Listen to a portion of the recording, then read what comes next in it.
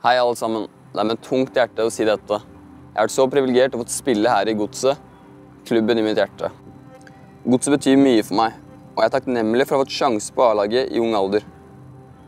Og ikke minst hvor viktig klubben har vært for meg i både medgang og motgang. Det har vært en guttedrøm som har gått i oppfyllelse å spille for Godset og foran Godsunionen, og ikke minst å skåre mål på Marienlyst.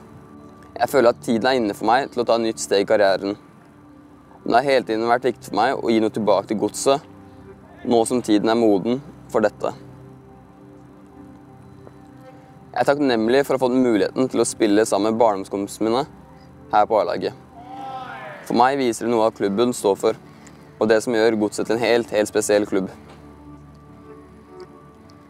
Jeg vil takke alle trenerne jeg har hatt her i Godset. Jeg vil takke alle folkene som er glad i og rundt klubben. Jeg vil takke alle lagkameratene mine over alle disse årene. Jeg vil ikke minst takke familien min som har vært alt for meg. Til slutt ønsker jeg å si dette er ikke noe farvel. Det er på gjensyn. Vi ses snart igjen. Tusen hjertelig takk.